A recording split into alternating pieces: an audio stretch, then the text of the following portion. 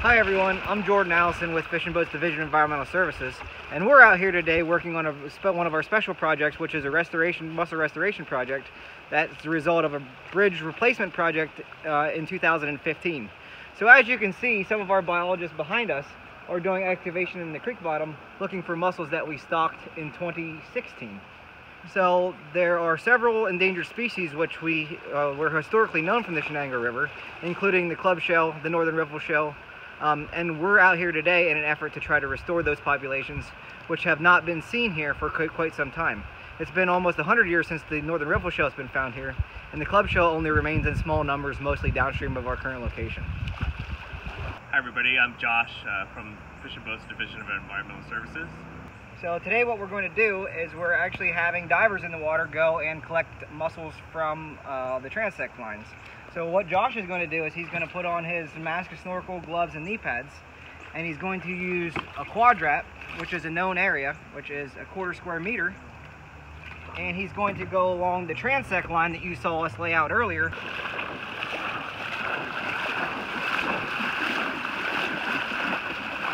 which has different colors and lengths on it. And what we've done is we've randomly selected different colors and lengths along this line in order to put the quadrat down and he'll excavate all of the uh, the material from the stream bottom inside the quad into one of these bags. That would include the gravels, the sands, everything, as well as the mussels that are living in that habitat. So now that we've gone through the equipment, let's go down and look at the actual transect to where we're going to be starting to snorkel. So what he's doing now is he's placing the quadrat on the pre-selected uh, color and he's going to actually begin excavating out the stream bed with his hands. So as you can see, he puts the bag over the bottom of the quad and then he scrapes all the sand down to about four inches below the stream surface, which is about how deep mussels will live or the majority of mussels live into the bag. And once he gets that done, he'll pick the bag up and we'll take it back over to the sieving station and we'll look to see if he found anything. Tag?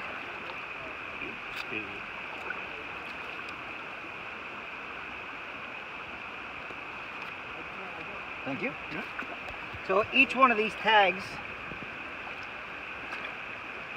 is labeled, and I'll show it to you when we get over to the sieving station, specifically with the uh, transect number, the segment, and the color that we just uh, did the excavation for.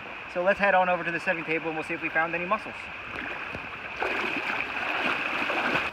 So now we take the sample that Josh just gave us that he dug out of the river, put it on this sieve,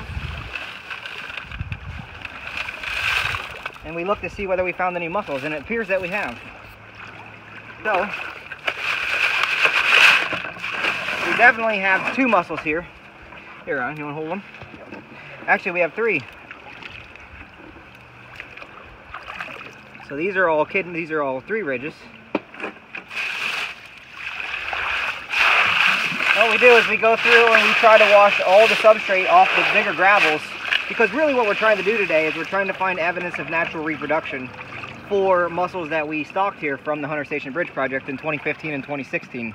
So we're really looking for little juvenile mussels which would be much smaller than these larger adults. So now that we've gone through and actually dug the quadrat, it's time to take the data for the mussels that we collected from sieving. So what we're actually going through here is, is that Nevin is going to be measuring and IDing the mussels that we were taking out of the bags that we put them in previously.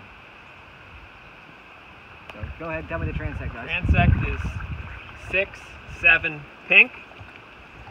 And Nevin has two mussels to measure. All right, so I have a three ridge, and I'm gonna measure it. It is 116 millimeters long. Okay. There's another three ridge. And it is 117 millimeters. Very close. Next transect, Okay. five, six, pink. Okay.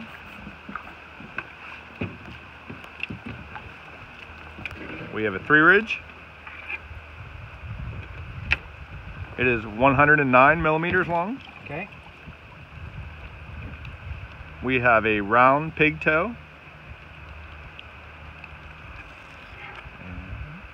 It is 82 millimeters. Okay.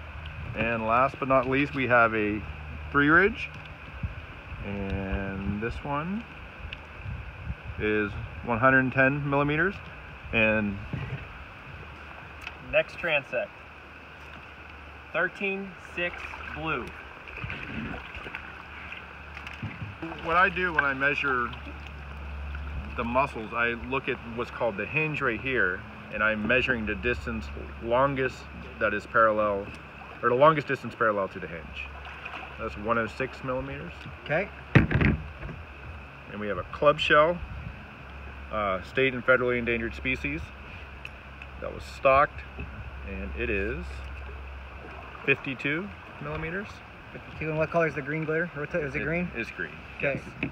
So the green glitter signifies that it was stocked as part of the bridge restoration project, excuse me, the bridge removal project in 2016.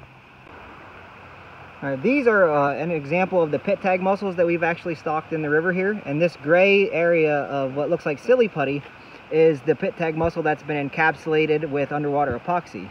Now what a pit tag actually is, is a passive integrated transponder tag, is this little glass encapsulated copper tag here.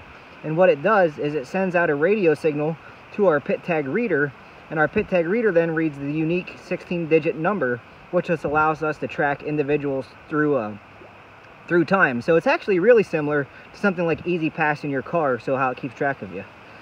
So what we do with the pit tag numbers though is that since we stocked these mussels five years ago and we've in some instances gone back and recaptured them multiple times, we can look in, at how much they've grown between the recapture intervals, um, how well they survived during that time, and it just gives us a, a unique opportunity to track individual mussels through time using this technology, which we don't always have available to us, but was um, was a definitely a possibility with PennDOT providing the funding for this project uh, in, in 2015. This is the pit tag reader, the instrument that we use to um, to read the uh, tags that we showed you on the mussel previously. And essentially what we have here is a computer that actually logs the number, the GPS coordinates, and um, the date and time for the tag when it reads it. And we also have this part, which is the antenna, which is what sends out the radio signal that activates the tag. So if Nevin, if you would like to go ahead and scan the first mussel, we can see that then you have the unique identification number here, which that's what we use to track these muscles through time.